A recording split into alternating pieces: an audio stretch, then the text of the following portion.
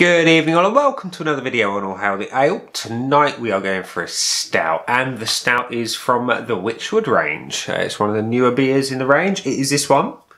It is Diceman. And Diceman is a 5% stout. And it says on the back, go all in with Diceman, jet black, silky smooth stout. A bold combination of dark malts creates a smoky aroma of toffee and plums, Expect a warming flavour of licorice and dried fruits with an alluring cocoa sweetness and a bitter coffee finish, an odds on favourite.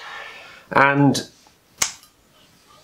I am a big, big fan of Black Wych, and I believe Black Wych has now been discontinued. It started life as a stout back in the day and then was rebranded when Marston's took over as a porter. Uh, so this is the sole, as far as I'm aware, dark offering of uh, of the the current Wychwood range. So it's obviously in the new style labels, which have caused much furore amongst many. You know, I like it for what it is. It's not Hobgoblin. The Hobgoblin had its kind of thing, as did Black Wych. Black Wych was a stunning label. It really, really worked well. You had that nice ethereal kind of dark vibe to it.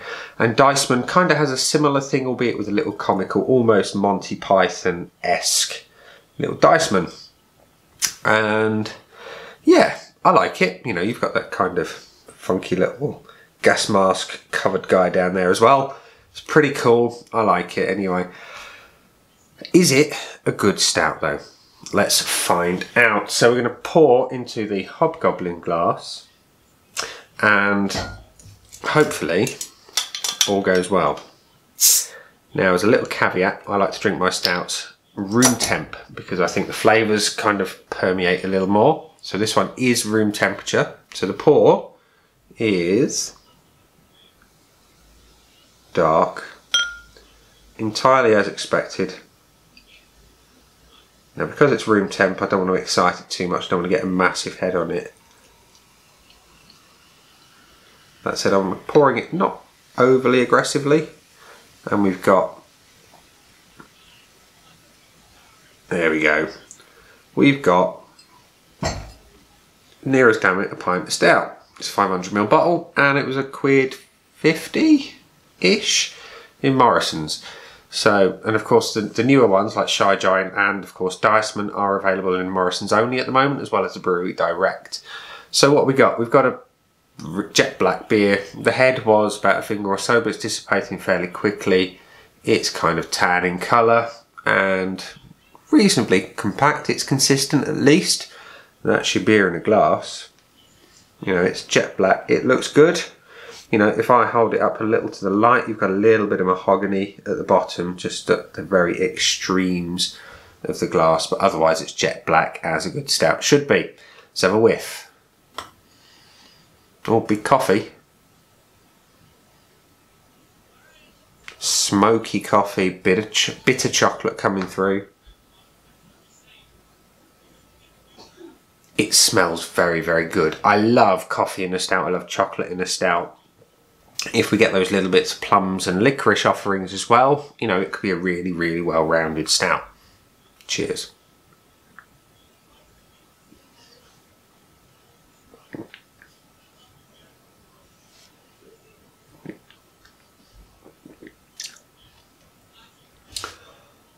Tasty. It is tasty. I'm getting a little bit of that licorice. I'm not a huge fan of licorice and the fact that it's not overpowering is a good thing for me. There is coffee in abundance. It, think of it like that, like a latte but ramped up. That kind of levels of smooth, creamy coffee and it's, it's going to be creamy because it's probably balanced out with those cacao type flavours that are going on.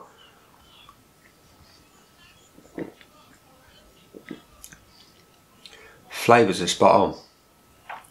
It's really nice, warming, earthy, everything you expect from a stout. It's got all those kind of flavour characteristics coming through. The one thing I will say, the body is a little bit thin. A stout of, even from other big brewers like Guinness, it's got more body to it. It's a heavier consistency. This is ver this is very similar to Black Wych in that sense and as such, you know, if you want a stout but you don't want that square meal in a glass that Guinness would give you, then something like this would be perhaps a little bit better for you. But the flavours, spot on. Cannot fault them. They are really, really tasty. Mm. Very, very good. There's low bitterness throughout, as you kind of would expect. The finish, you get that roasted malt really, really coming through at the end. And there's that, that kind of almost, almost burned flavour that works really, really well. It's a, it's a really heavily roasted kind of flavour going on. I like it. Mm. Nice. So, Diceman from Wychwood, What do I think of you? Would I buy you again? I would. I like the flavours. I like the, the coffee. I like the chocolate. I like the rich, dark roasted malt finish. There's that tiny, tiny hint of the promised licorice. Do I get much in the way of the plums though? No, not really. There, there's an element of the toffee though that that is present throughout. You know that that little bit of sweetness that sits behind the chocolate. It's not the chocolate itself because that's a little bit more bitter chocolate. Um, so all in all, a very very well rounded flavour. Would I rush out and buy again? I would because, and there's two reasons for this. Um, the flavour, obviously, of Diceman is spot on the downside is it's only available to me, anyway, from two places, Morrison's and the Brewery Direct. My previous shopping kind of supermarket of choice, excuse me, has always been Tesco. Um, but lately, during this crazy lockdown period, uh, Tesco I found really wanting in many respects in terms of what they're keeping on the shelf. And Morrison's have severely upped their game and they've got a lot more on the shelf of a wider variety of goods. And for that reason, I'm, I'm finding myself shopping there more. So I'm more likely to go and buy a bottle of this than, say, a bottle of Guinness in Tesco.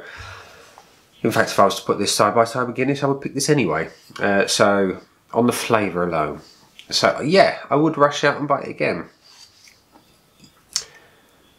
Is there anything I dislike? Yes, I would like it to be heavier. I would like a heavier body. Um, because when I'm drinking a stout, I want to know I've got a stout in every possible way.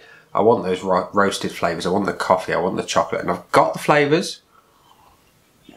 I'm just missing a little bit of that body. Um, it's it's middle on the body at most. It's it could do with being heavier, ladies and gents at Wychwood. Um, but that's just my personal taste. I know many many people enjoy a lighter stout, and for that reason, for the for the fact that for me it's a little bit lacking in the body, I'm going to give Diceman Stout from Wychwood Brewery four out of five on the old Untappd score sheet, which by anyone's records is a blooming decent score. Uh, it would have got higher if it had a bigger body. So, ladies and gents, down the bottom are some buttons. You know exactly what to do with them. This has been the beer. I've been Nick, and I will see you again soon for another video. Take it easy.